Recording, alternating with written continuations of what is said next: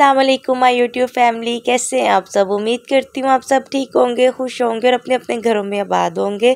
मेरा गला तो इतना ज़्यादा ख़राब है ना, जिसकी इंतहा नहीं है। जैसे ही मैं पाकिस्तान आई, पाकिस्तान में एकदम से मौसम चेंज है, ठंड है और एक तो स्मोक बहुत ज़्यादा लाहौर में पड़ रही है। उसकी वजह से गला इतना अफेक्टिव हो गया कि मत पूछें।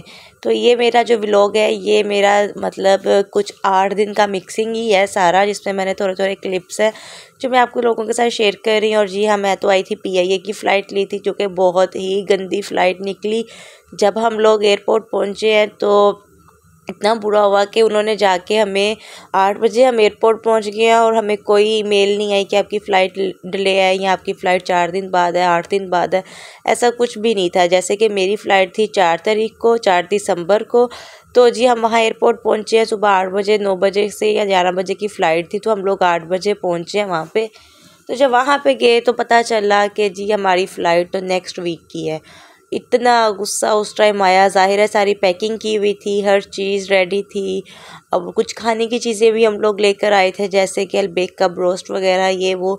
तो अब ये था कि अब यार वो सब कुछ कैसे रखेंगे, क्या करेंगे? दोबारा अनपैक करेंगे, कुछ पैकिंग में तो एक वीक तक चीज़ें ख़राब हो जाएँगी। तो खैर मिनते तले करके इतना उन्होंने पूरा सौ बंदा उन्होंने अगले हफ़्ते पे डाल दिया। इतना शोर शराबा सो सऊदी एयरपोर्ट में ही के मत पूछे दमाम एयरपोर्ट में। ना तो फिर उसके बाद शुक्र है कि मुझे सीट मिल गई, एक सीट, कि मैं ही आई थी। तो सामान बाकी जितना थोड़ा बहुत आ सकता था वो आया। बाकी जो सा उधर रहा और बहुत ही मुश्किल से बहस कर कर के हुआ और खैर इतनी गंदी और उसके बाद भी लेट होगी फ़्लाइट। तो बहुत ही ज़्यादा मेरा एक्सपीरियंस पी आई ए के साथ बहुत गंदा रहा, बहुत ही तंग कर रही हैं, पता नहीं क्यों। और बेचारे वहाँ पे लोग इतने परेशान हो रहे थे, कुछ के वीज़े एक्सपायर हुए हुए थे, वो कह रहे थे, हम कहाँ रखें? लेकिन सीट्स ही उनके पास नहीं थी।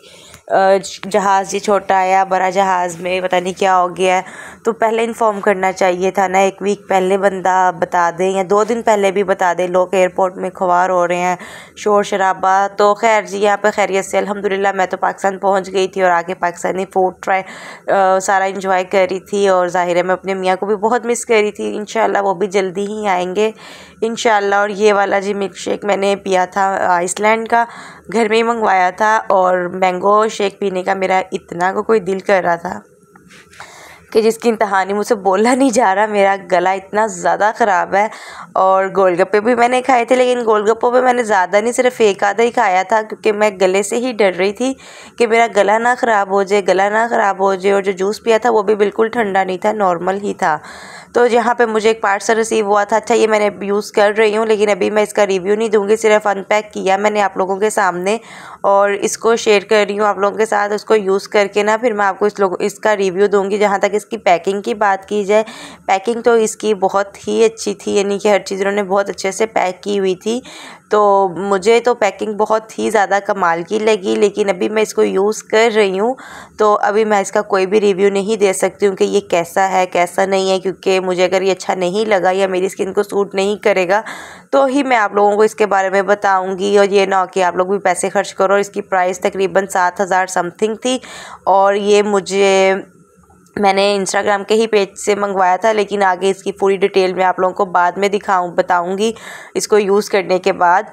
क्योंकि अवे मैं आप लोगों को भी इसको कह दूँ, जी बहुत अच्छा है बहुत सोना है, ये है, वो है तो बाद में अगर आप लोगों को भी ना अच्छा लगे और फिर फिल वक्त मुझे इनकी पैकिंग ही बहुत अच्छी लगी थी अदरवाइज़ और मुझे कुछ भी अभी तक कुछ नहीं कह सकती, क्योंकि अभी मैं यूज़ कर यूज़ किए हुए मुझे दो दिन हुए हैं तो इसके बारे में अभी मैं कुछ नहीं बता सकती है डेली स्किन केयर के बारे में, और एक ये वाला पार्सल रिसीव हुआ था अच्छा ये तो मैंने ऑलरेडी पहले भी यूज़ की हुई थी तो खैर, जब मैंने ये पहले ये पुछ पुछ इसको मैं कहती हूँ, ये बेस ही है चाइनीज़ बेस के हिसाब से कुछ चाइनीज़ बेस कहते हैं, पता नहीं इसको क्या, लेकिन मैं इसको पुछ पुछ बोलती हूँ।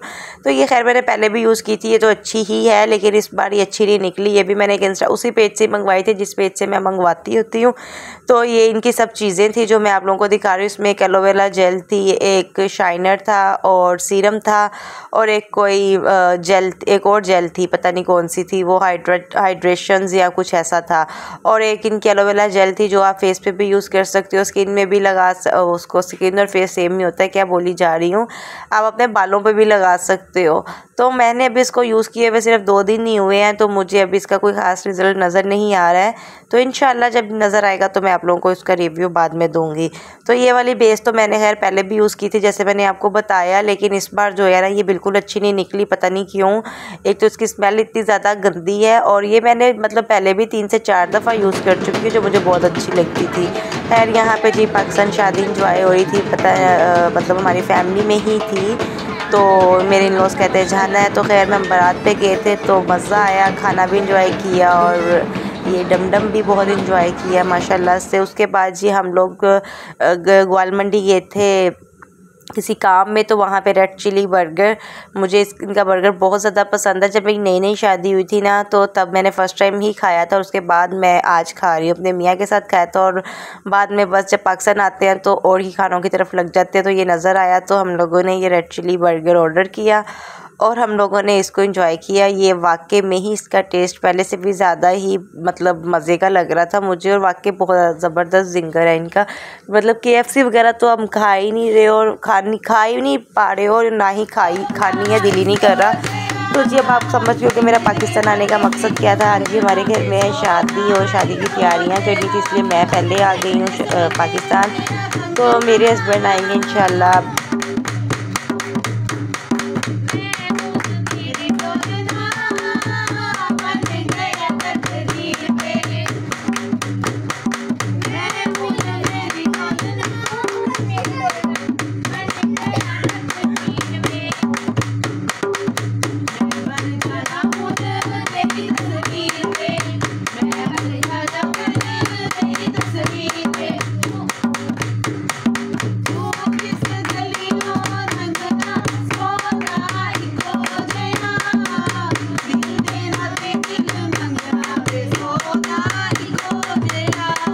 और ये हम लोगों को इनवाइट किया था दावत पे, मेरी फ्रेंड ने तो हम वहाँ पे गए थे। इस होटल का नाम था सेकंड वाइफ खाना भी इनका बहुत अच्छा था बारबेक्यू भी अच्छा था, नान भी गरम गरम थे और इनकी कढ़ाई भी अच्छी थी, लेकिन ज़्यादा इनका मज़े की चीज़ बारबेक्यू आइटम ज़्यादा अच्छी थी, जो ये लाइव लगा रहे थे और फ़ूड भी इनका मतलब जो भी आप ऑर्डर कर रहे थे वो लाइव ही आपका लग रहा था और ये रूफ टॉप थी और मज़ा भी आया, बहुत ज़्यादा इंजॉय किया।